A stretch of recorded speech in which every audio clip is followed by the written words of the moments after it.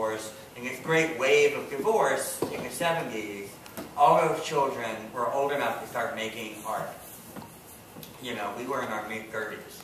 And the Whale had just come out, and there was like a lot of people like talking about a lot of books coming out of it because all there, this whole great, huge the children of the baby boomers who all had these divorces were now, their children were old enough to start like creating content, if you will.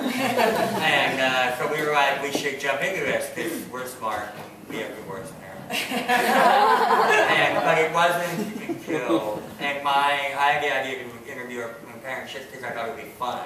we didn't think it would be about being children of divorces. Yeah. We were just thinking it was going to be about like, how do you stay married and in love?